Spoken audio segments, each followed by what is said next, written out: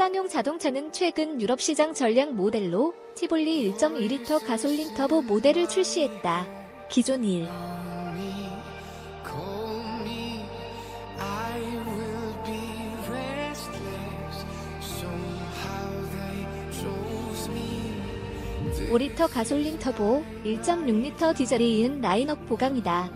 다운사이징이 대세인 유럽 시장의 변화에 발맞춰 저배기량 엔진을 추가한 것이다.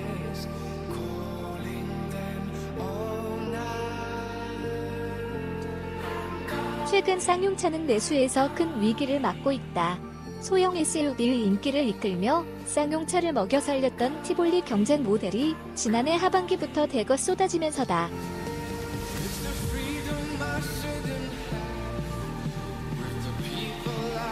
티볼리는 내수월 판매량 1,000대 붕괴도 걱정해야 할 판이다. 터닝 포인트가 필요한 시점이다. 그중 당장 가능한 한 가지 방법은 유럽을 겨냥해 새롭게 내놓은 일.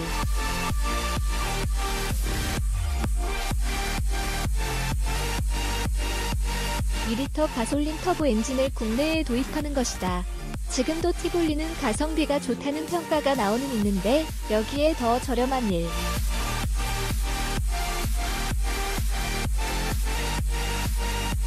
2리터 가솔린 터보가 엔트리 모델로 나온다면 시장 점유율 확대에 긍정적이다.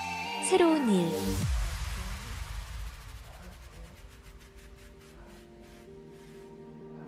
(2리터) 가솔린 터보 엔진은 최고 출력 128마력, 최대 토크 23.0kg, M의 힘을 낸다. 최근 트렌드인 다운사이징을 따른 모습이다.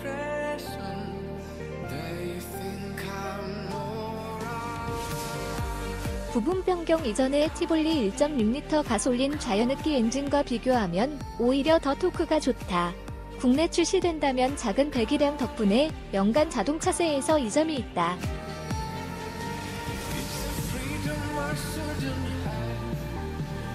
문제는 유럽형이 온리 수동 변속기라는 점이다.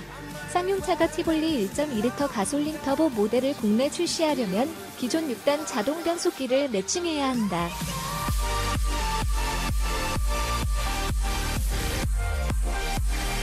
이럴 경우 변속기 TCU 개발 등에 최소 두세 달이 걸린다. 투자비도 몇십억 원은 각오해야 한다.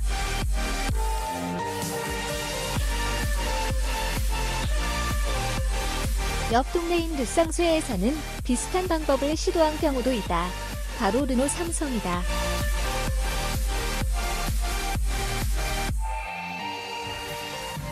XM3는 1.3리터 가솔린 터보 모델과 1.6리터 가솔린 자연흡기 모델로 투트랙 전략으로 시장에 대응했다.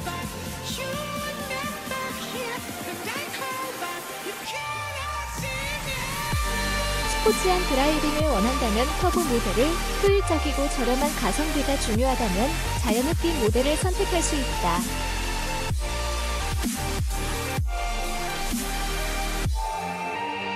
지난 4월 소형 SUV 1위에 올라섰다. 티볼리는 이미 작년 구분 변경 모델을 출시해 큰 변화를 꾀하기 힘들다.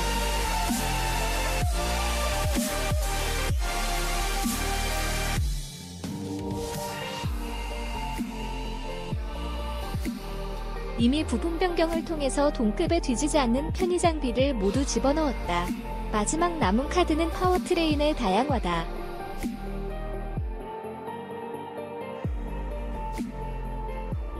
현재 1,640만 원부터인 시작 가격을 1.2 터보를 추가한다면 100만 원은 낮출 수 있다. 이럴 경우 1,500만 원대가 가능해진다.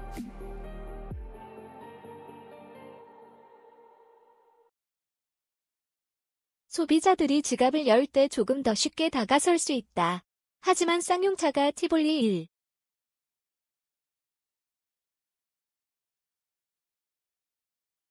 2리터 가솔린 터보 모델을 국내에 출시하려면 난제가 여러 가지다.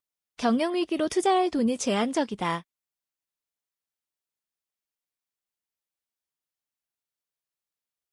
결국 선택과 집중을 해야 한다.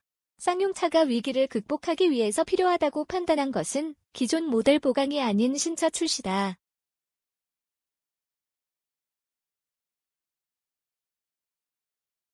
모델의 다양화가 더 중요하다고 판단한 것이다. 티볼리 1.2리터 가솔린 터보 대신 티볼리 에어 재출시, G4 렉스턴 부분 변경, 코란도 투리스모 풀체인지 모델, 코란도 전기차 등 다수의 신차를 내년까지 출시한다.